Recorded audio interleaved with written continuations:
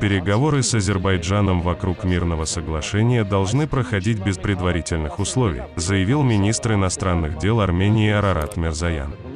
В интервью армянским СМИ он подтвердил, что обнародованные ранее внешнеполитическим ведомством Азербайджана пять принципов и есть переданный Армении документ по нормализации отношений.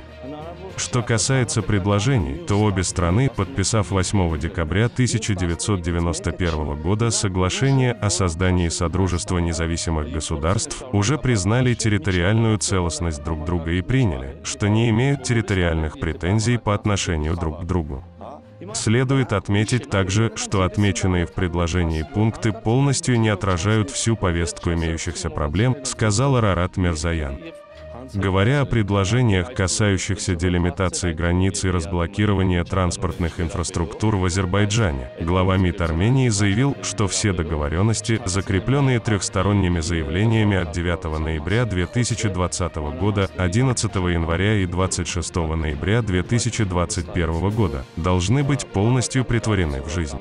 Подпишитесь на наш канал Будра News и будьте в курсе всех событий.